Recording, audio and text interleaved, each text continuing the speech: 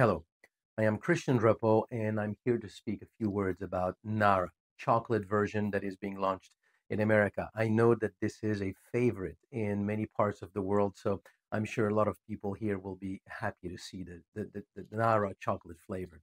So, putting aside the flavor, if we talk about Naara, the main ingredient in Naara is collagen peptide coming from fish.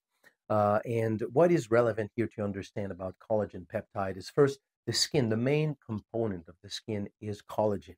The amount of collagen in the skin and the quality of the collagen in the skin is essentially going to give you the quality of the skin, the flexibility of the skin, uh, the youthfulness of the skin. All of this is coming from the collagen content of the skin. As we age, uh, we, uh, we, we uh, during our life, we are not exposed, like we don't eat sources of collagen. What are normal sources of collagen is skin collagen itself, tendon, ligaments, all the things that really in our diet we do not consume. So, our diet, unless we start to consume collagen, our diet is deprived of the key amino acids that are needed to make collagen. And it's the reason why, as we age, uh, not the only reason, but one of the main reason why, as we age, collagen content in the skin and quality starts to degrade, and it is one of the main signs of aging in the skin. If we can take orally collagen uh, then we can replenish the body with a source of these amino acids that the body can use then to make its own collagen.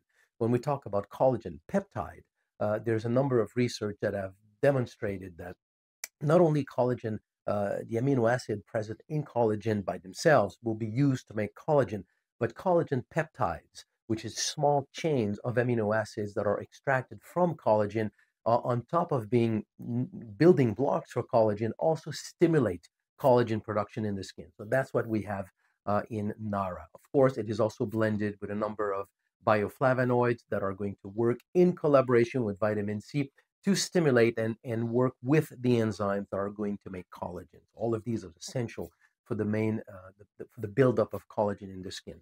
I cannot talk about collagen and its effect in the skin without also talking about the fact that collagen it is the main protein everywhere everywhere else in the body in your bone, uh, in the connective tissue, all throughout the body. So we like to talk about its effect on the skin because that's what is visible. But it's important to understand that as we repair, rebuild collagen in the skin, we also rebuild the collagen everywhere else in the body. And this is extremely important for the flexibility of ligament, flexibility of tendons, for the flexibility uh, and strength of bones as well, but also for the substrate, if you want, that holds all the capillaries, the fine blood vessels in the body. In order to be to have strong integrity and function properly, you need to have a solid collagen and connective tissue uh, background, if you want, framework in your body. So all of these will come out of consuming collagen every day. So there you have it with Naara.